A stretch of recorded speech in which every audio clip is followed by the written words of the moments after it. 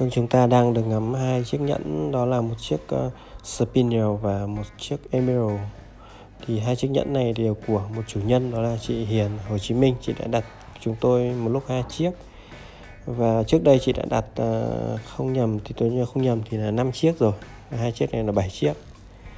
Năm chiếc trước thì uh, chị uh, có làm chiếc uh, ruby sao ruby huyết kính aquamarine emerald và một cái chiếc nào đó nữa.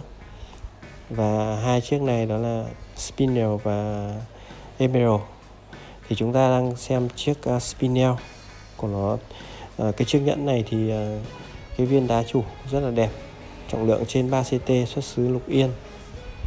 Uh, độ sạch là 90 phần trăm.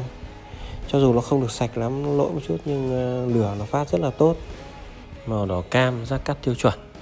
Khối rất là đẹp và được kết kim cương ờ, tự nhiên ờ, hai hàng kim cương 1,5 ly và 1,2 ly. Đây là giấy giám định của chiếc nhẫn này. Vâng chúng ta cùng xem. Và cái ờ, nhẫn tiếp theo của chúng ta đó là viên emerald. Viên emerald này là viên camas có trọng lượng là 3,8 ct chất lượng là bán trong cho đến trong. Màu xanh lục rất là đẹp. Bên ngoài thì màu xanh nó đẹp hơn là hình ảnh. Chúng ta quay bằng video ở điện thoại cũng được kết kim cương tự nhiên 1,2 ly đến 1,5 ly. Cả hai chiếc nhẫn này thì được làm bằng vàng trắng 14k bởi vì vàng trắng thì chúng ta chỉ cần làm 14k là đẹp.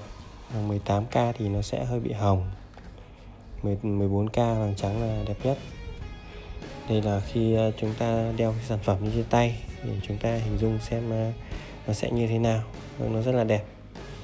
Và cái hình ảnh này tôi chụp thì khá là thật so với bên ngoài vâng và anh chị à, chị à, thích cái, các cái mẫu nhẫn như này hoặc là thích cái chất lượng đá như này thì liên hệ trực tiếp với chúng tôi theo cái số điện thoại 0814419999 hoặc số Zalo 0969 248 666.